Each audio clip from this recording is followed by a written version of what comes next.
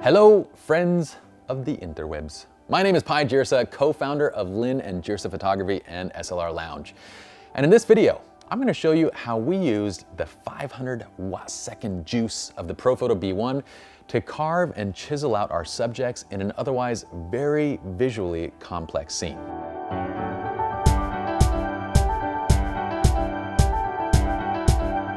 Recently, we plan to do a South Asian stylized wedding shoot in partnership with several other vendors, including Terranea. They are a local hotel, resort, and property, very beautiful in Southern California.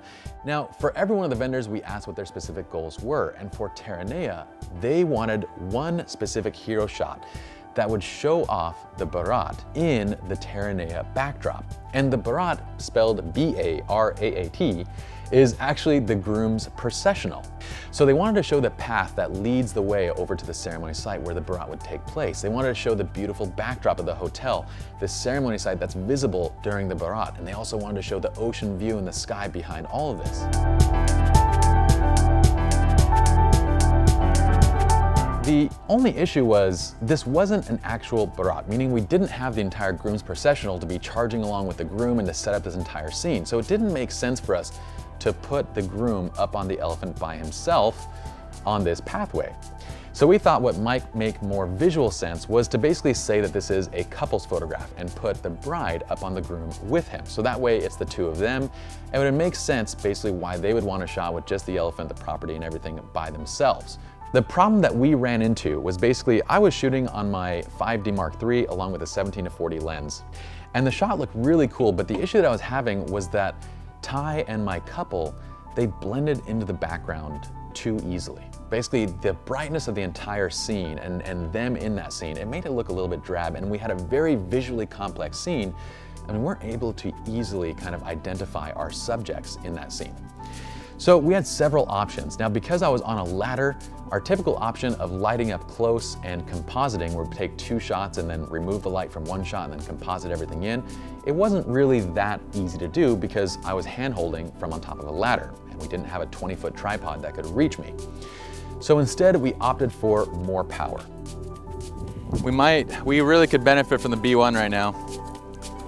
We need the extra power and we got the Profoto all the way over to the edge of the left side of the scene. So it's just barely framed out of the camera on the left side. It's okay, um, can you step back? Right there, and then make sure it's pointed just towards them. So what you could do is go back a little bit further, okay? So you're, uh, look at me, go towards the grass. And we use the Profoto basically directly in front of the elephant Ty and the couple who's on top of Ty. So the Profoto is firing directly onto them, which is basically perpendicular from the camera.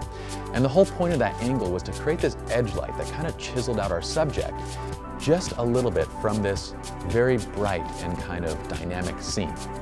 Firing at one over one power, we got this final image, which looked fantastic.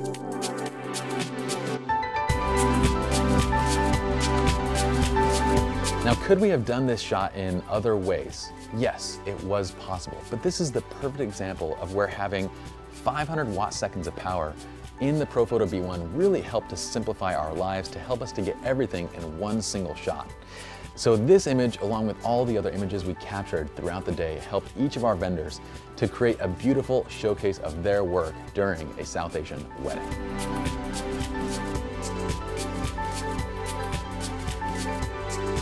Hopefully you enjoyed this little tutorial. My name is Pye and I'll see you all in the next video.